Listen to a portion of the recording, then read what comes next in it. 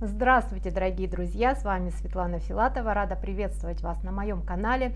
И сегодня вас ждет очередной небольшой разбор небольшой речи Путина. Там буквально одна минута, но для меня, как человека, разбирающегося в невербальных сигналах тела, а, этой минуты было достаточно для того, чтобы сделать определенные выводы. В конце видео я обязательно озвучу свои четыре пункта выводов.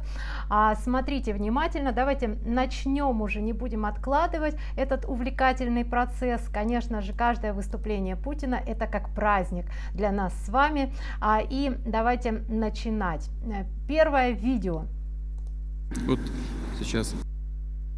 А, и смотрите, что мы видим сразу он э, не смотрит на собеседника, он как бы собирается с мыслями, да, и почему он не смотрит? Да потому что чувство вины все равно вот э, по эмоциям видно. Кстати, если а, хотите эмоции а, распознавать сразу э, в обычной речи, да, когда вы общаетесь с людьми, то вот у меня есть мини-курс по эмоциям, там я прям разложила все свои видео без всякой воды, прям все эмоции, когда вот эти все видео посмотрите, вы научитесь это разбирать, ну, что называется, с лету. Так вот, когда он говорит, он испытывает чувство вины, поэтому ему приходится не смотреть на собеседника и делать ну, определенную паузу, да, чтобы собраться и посмотреть. Да.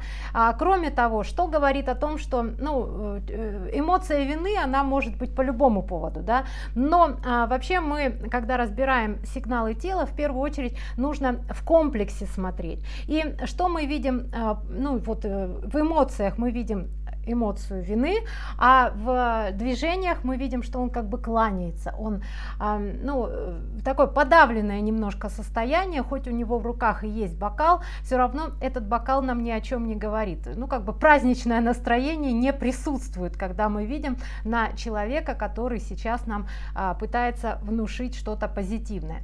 Соответственно, идем дальше.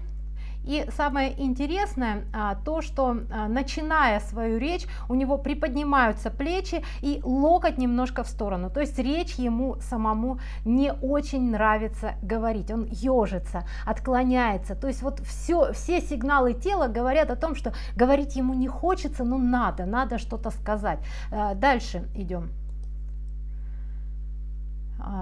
Так, видите, вот как отклоняется, вот как бы сначала локоть в сторону, а локоть в сторону, как мы знаем, это а, отталкивание какой-то информации, да. Ну и о чем же он нам скажет? То есть в самом начале мы видим, что человеку неудобно, ему не хочется это говорить.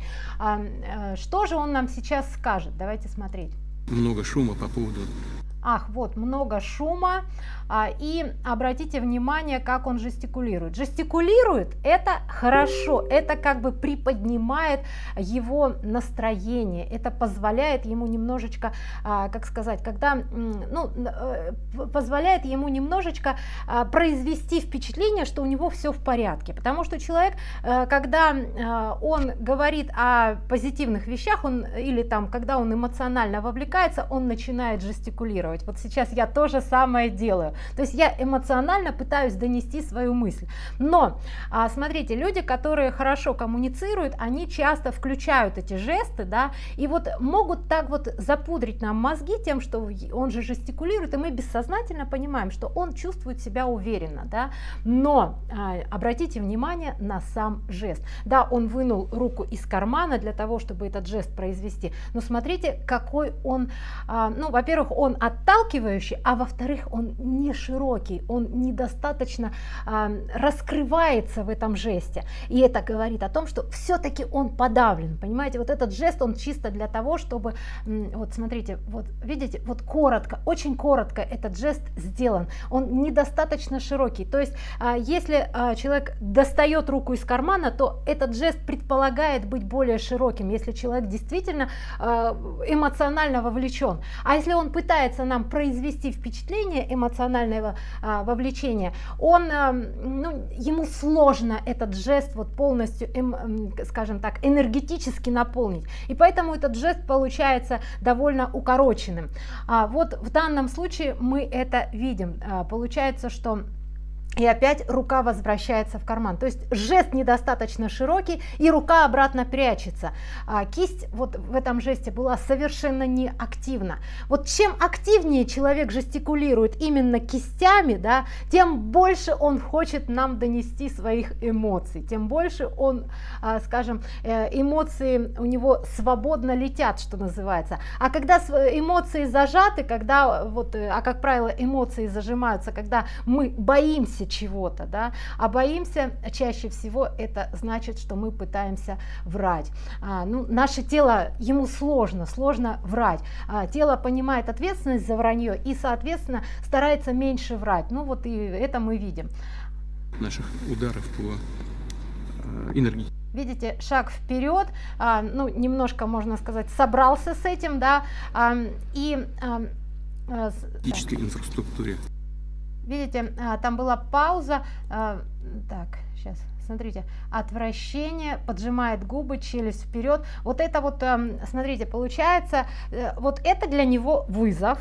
И здесь, смотрите, получается, если человек готов драться, то э, у него будут э, ну, больше жесты активные, и э, ну, поднимется челюсть, э, челюсть пойдет вперед.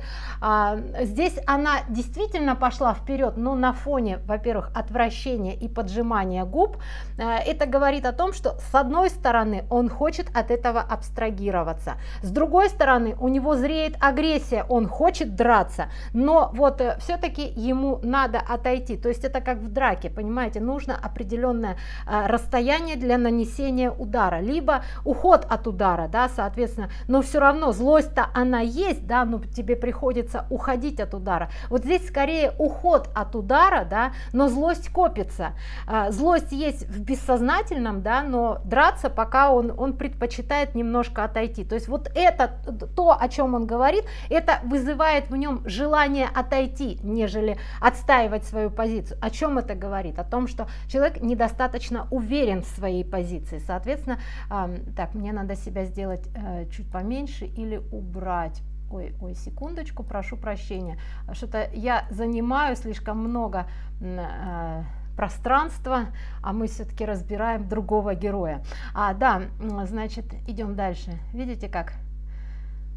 А, да, переступает, расширяется. То есть здесь у него две противоречивые, скажем так, а, позиции. Да? С одной стороны хочется убежать, с другой стороны надо, надо показывать свою силу, надо драться. Да? И, в общем-то, даже если будет драка, то драка не потому, что он чувствует скажем, э, в себе уверенность, когда мы полностью чувствуем уверенность в том, что мы готовы отстоять свою позицию, мы а, все абсолютно в нас будет кричать о том, что я буду драться, понимаете? А когда вот это противоречие так или так, то недостаточно уверен или недостаточно, э, ну, скажем, может не время еще драться, да, может еще как какие-то причины. Ну, то есть человек не совсем готов драться.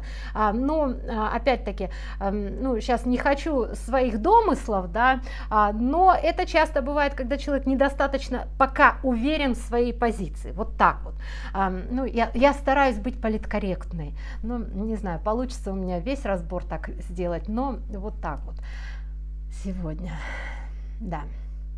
Ну, в общем, видим. Соседней стороны. Вот, а насчет соседней страны там локоточком так, в стороночку. То есть мы с вами знаем, что... Э, и, и вот э, вообще, конечно, это очень показательно. Когда он говорит об Украине, он всегда, вот абсолютно всегда отталкивает локтем. И это говорит о том, что вот он настолько не любит Украину, настолько вот она ему прям как кость в горле. Вот это, ну и, э, в общем-то, э, как бы он там ни говорил, ну, хотя он уже не, не стесняется в выражениях, намерениях и а, во всех своих целях, да, но вот э, как бы изначально, если он там нам рассказывал про то, что он э, хочет добра или чего-то хорошего, не верьте.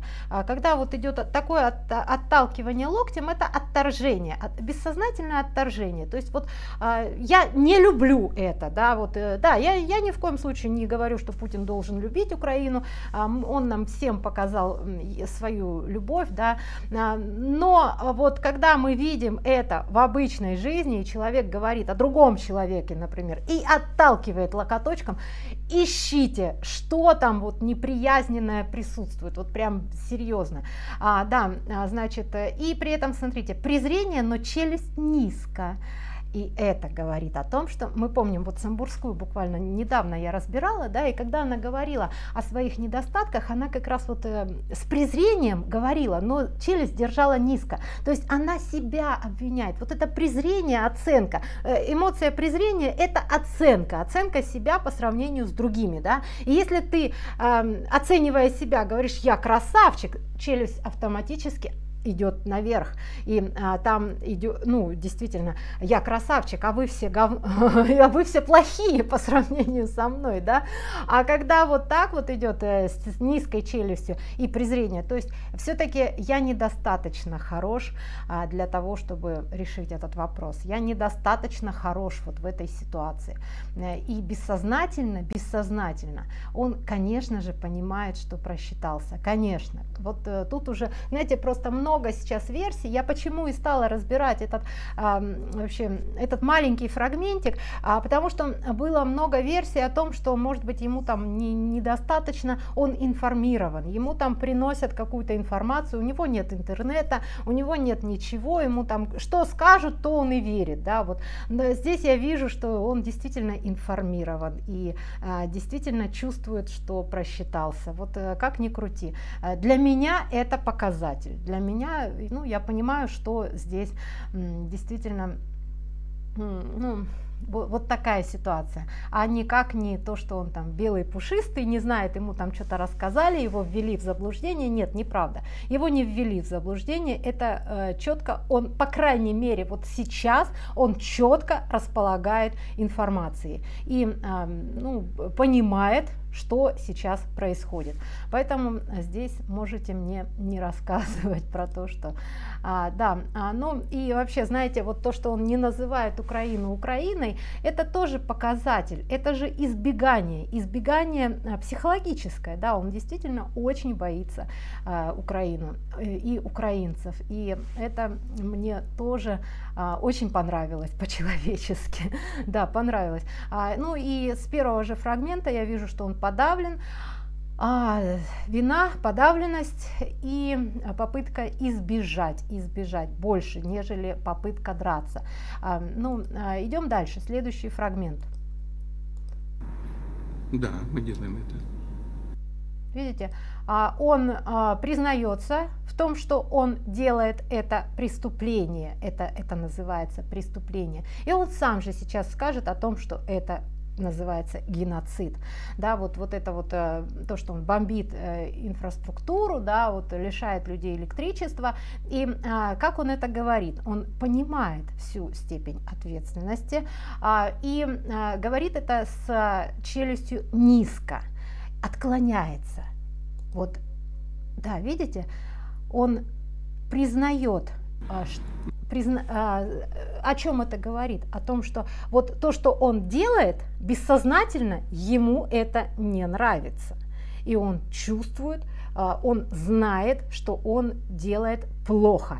А, поэтому вот это как бы, ну, с одной стороны, это драка, да, но если ты прав, и ты отстаиваешь свою точку зрения, ты будешь это говорить с высоко поднятой головой, ты будешь э, это, ну, э, как вот э, представьте, если вы а, попали в передрягу, да, и вам пришлось отстоять свою, там, не знаю, ну, свою жизнь, да, или там какие-то еще принципы, которые вы считаете важными, да, вы будете это отстаивать, ну, вот, вы будете как бы продолжать драться при этом, да, вы будете говорить, да он же был неправ, я, я же отстаивала свою жизнь, я же там боролась за, за себя, за своих близких. Ну, то есть вот какие-то такие вещи вы будете, и вы будете эмоционально в это вовлечены, и вы будете об этом просто кричать. Но здесь же мы видим, что он говорит это подавлено, а, а, немножко даже вот, как сказать, отступает, да, и вот, вот ежится, да, без эмоций. А, и это, э, ну, и как я уже сказала, действительно, ему э, это не хочется говорить, и он не чувствует себя в этой ситуации правым. Понимаете, вот это самое главное. А, дальше. Ну, кто начал? Смотрите, вот здесь уже пошел в наступление, а, и, а, значит, что, корпус вперед, да, для него это аргумент того, что, а, ну, несмотря на то, что он а, не очень уверенно себя чувствует в том, что он это делает, да, то есть не очень прав, не очень правым себя считает, но а, здесь уже пошло от ума, что называется, а, ну, уже, уже пошел аргументы, а, ну, в общем-то, это нормально, да, аргументы, предоставлять в пользу своей позиции. Да? Неважно, там, я считаю, а, прав я или не прав, но я предоставлю свои доказательства. И здесь мы, как, э, знаете, ну как в суде, что называется, вот предоставляешь свои доказательства. И для него это как наступление, он а, корпус вперед, разворачивается, любуйтесь мной, да, я же прав все-таки, ведь э, я вам сейчас все объясню, да, челюсть приподнимает с презрением, то есть уже пошло наступление, уже вот в этом моменте он реально считает, что он прав. И давайте послушаем его доводы. Да, видите, уже пошел. Под по, поднял челюсть, ну, то есть вот, вот в этом моменте он уже либо он собрался относительно начала своего а, разговора, да, либо он а, сейчас уже, а, ну, чувствует почву под ногами, да, уже какую-то доказательную базу он а, может нам предоставить, и давайте слушать его а, доказательную базу. При этом, обратите внимание, что когда он перечисляет свои аргументы, он все больше воодушевляется, больше эмоций, челюсть выше, и радость. Вот самое главное, при этом он, а, ну вот, с, ну это, это тоже нормально, когда мы а, как предоставляем свои аргументы, мы, естественно, испытываем радость от того, что, а, ну, ведь не, не нравится быть неправым, да, вот в первой части своего диалога, своего разговора, вот, высказывания, он ну, он чувствовал себя не очень правым, да, а вот здесь вот он действительно чувствует, что он прав.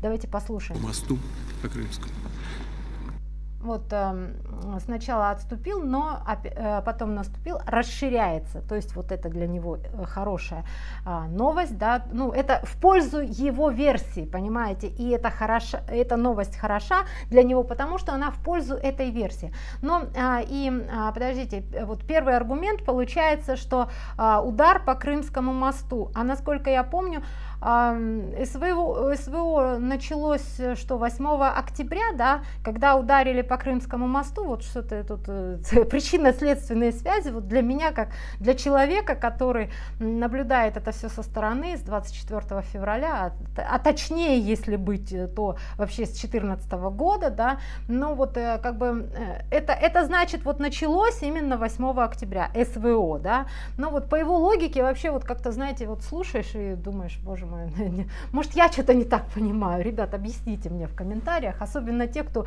поддерживает его. Вот эта логика, может я что-то не поняла, вот, вот эту логику объясните мне, пожалуйста. А, да, значит, на восьмой месяц СВО а, Украина, причем это не доказано, это не точно, это вот по версии российских а, там российских властей а, считается, что это Украина. Но там есть много доказательств того, что а, там очень даже, ну, есть много разных версий, и не факт, что это сделала Украина. Да? Но, тем не менее, на восьмой месяц СВО украинцы начали, да, то есть мы их сначала так мирно бомбили, а потом они сволочи такие, начали нам отвечать. Вот, вот логика вообще замечательно. А дальше давайте слушать. Э, это, значит, первая версия, это эм, ну, 8 октября началось, да? Кто подорвал ли, линии электропередач с атомной электростанции Курска? А, ну вот э, линии электропередач 16 э, августа тоже это все произошло. Это на шестой месяц СВО. А, или, или тогда началось это все. Я не пойму, вот э, а, ну, да, там, походу, все-таки украинские диверсанты, хотя, хотя неизвестно, вот я не знаю, там, а, так и не, не нашла я ответа, кто это сделал, но тем не менее, а, да, я допускаю, что это Украина сделала, хорошо, да, Получается, что э, началось когда? Когда СВО началась? Вот, э, вот, вот эту логику объясните мне. Дальше. Никто не подает воду в Донецк. Неподача воды в миллионный город – это акт геноцида. Никто, нигде словом об этом не обмолвился.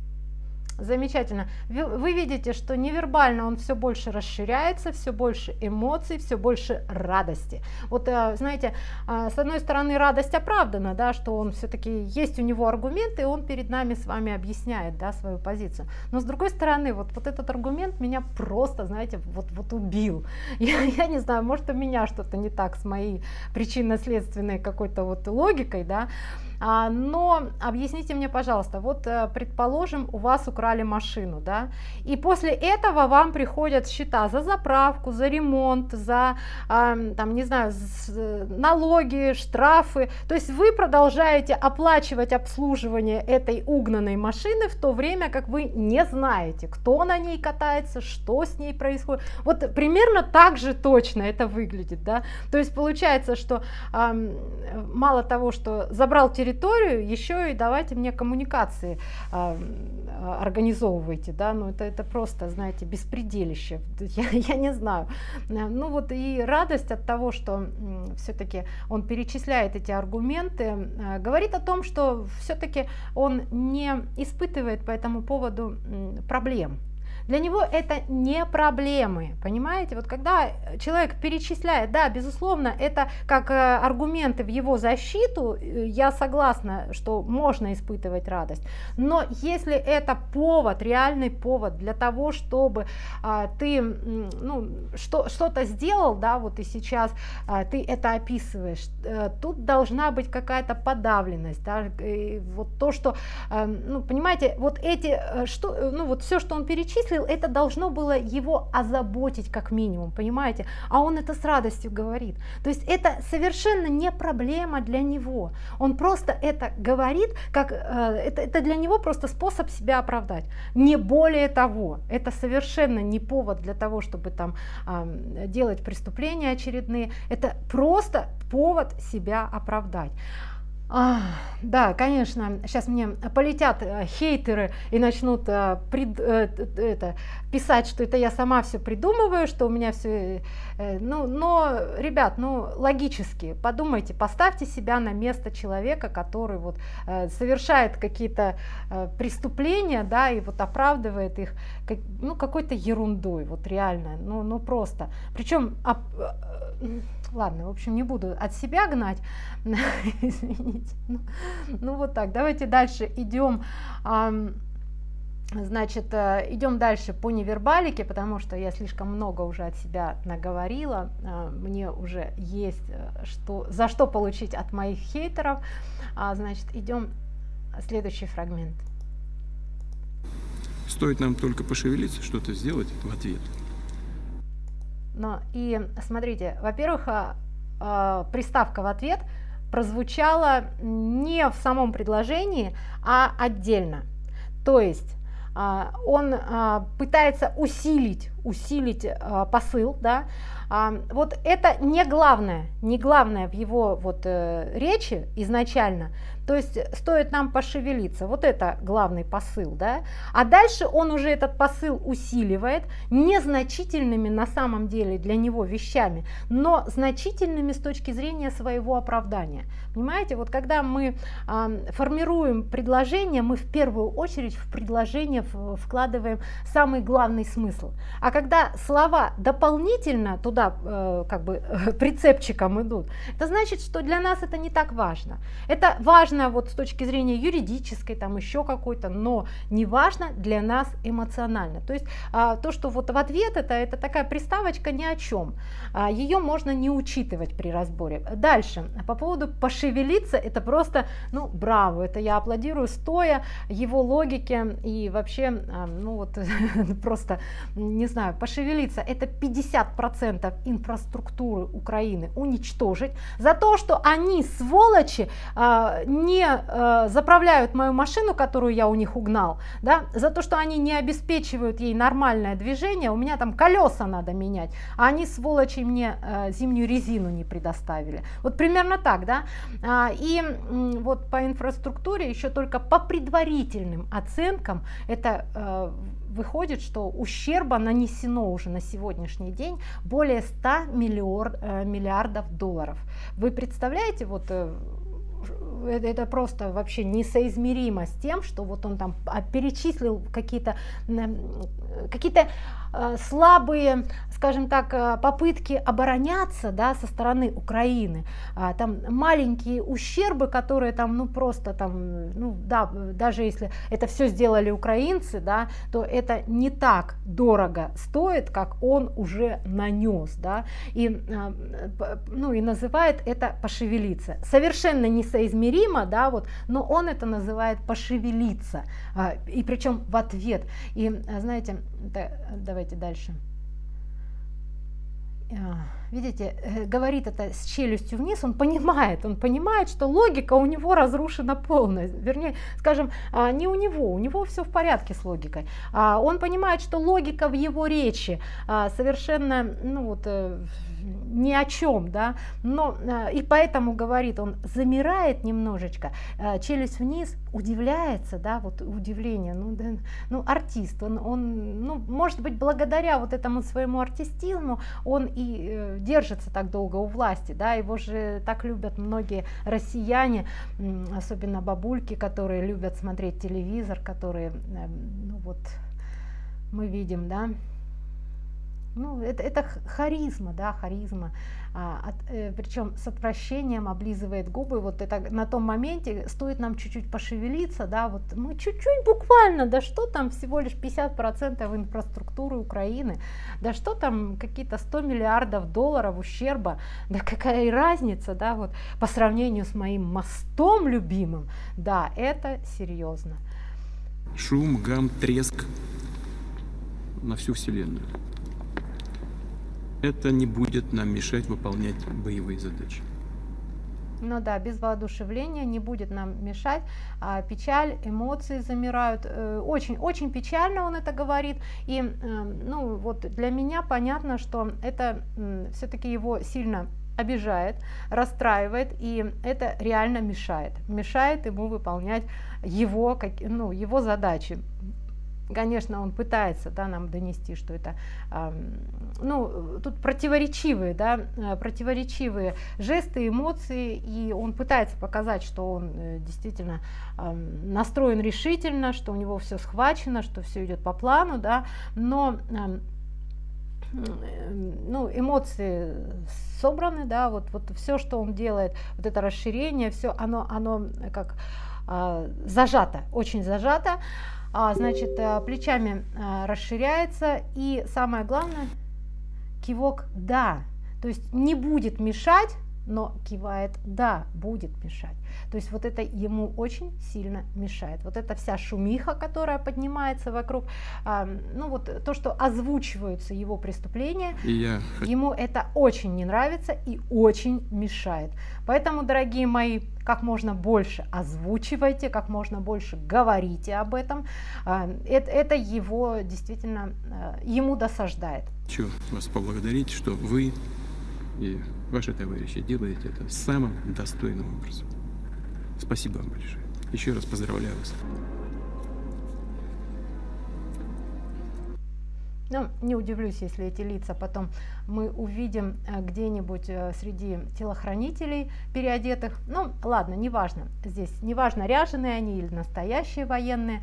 Важно, что а, действительно, а, как я вам обещала, в конце а, выводы, да, выводы из того, что я услышала и почему я, в общем-то, стала делать этот разбор. Значит, четыре вывода. А, которые я сделала для себя. Он понимает, что совершил преступ... совершает преступление. А, ну вот то, что он не в курсе, это все ерунда, неправда.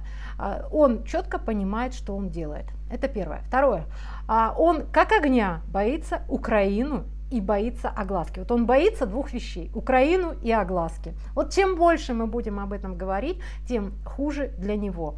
А, и Украину он просто боится как огня. Так что, ребят, украинцы, вы молодцы. Вы его запугали.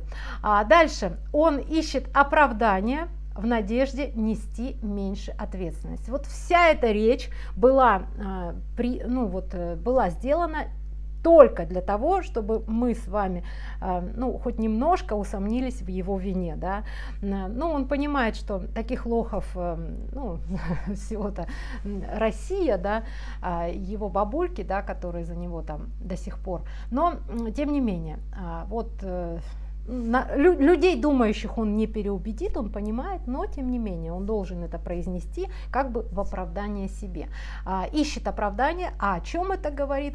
А, вытекает четвертый пункт, если он ищет оправдание, то он в, э, в своей позиции чувствует себя неуверенно. Он не в позиции сильного.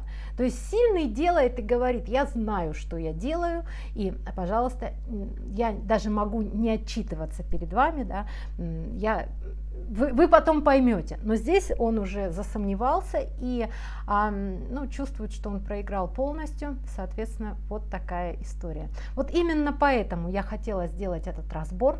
Я понимаю, что не все будут сейчас согласны со мной, поэтому, а, в общем, те, кто не согласны, ну, что поделать, так бывает. А со временем, я думаю, что вы свои взгляды пересмотрите. А что касается тех, кто согласен, не забывайте поставить лайк этому видео. А, и, значит, э, не знаю, напишите комментарий какой-то, чтобы как можно больше людей увидела этот разбор. А, я надеюсь, что я донесла главную мысль того, что я сама увидела и очень хочу, чтобы это увидели все украинцы, чтобы это увидели а, люди, а, способные мыслить. Он действительно очень боится Украину и очень боится огласки своих преступлений. Поэтому а, рассказывайте, говорите везде, в социальных сетях, как можно больше. Вот э, мы, мы должны создавать волну. А, вот э, такой мой посыл этим видео, да, и благодарю вас за внимание. А, не забывайте опять-таки э, поставить лайк, подписаться на канал, если вы здесь впервые. А, в общем, вот так вот. До новых встреч. Пока-пока.